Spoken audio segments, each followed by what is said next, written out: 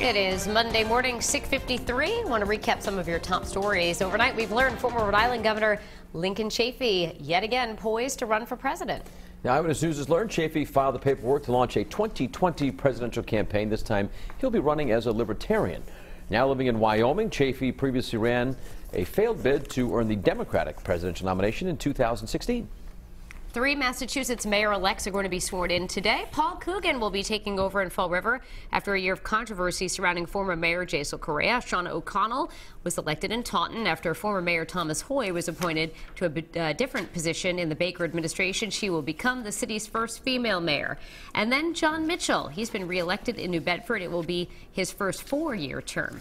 The Iranian general who replaced Qasem Soleimani is vowing revenge after Soleimani was killed by a U.S. airstrike. Last week, President Trump doubled down on his threat to attack Iranian cultural sites if Iran retaliates. So far, Iran announcing it will no longer be bound by the 2015 nuclear deal. The skies over Australia red as the deadly brush fires continue to burn right now. 146 fires are burning across the state of New South Wales, 65 of them not contained. Meanwhile, state of Victoria declaring a state of disaster as they battle these massive blazes. 100 years ago today, the Ocean State ratified the 19th Amendment giving women the right to vote. According to the National Park Service, Rhode Island was one of 36 states to help ratify the amendment. And today, Secretary of State Nellie Gorbea will be hosting a celebration of this centennial at the State House Library starting at 10 a.m.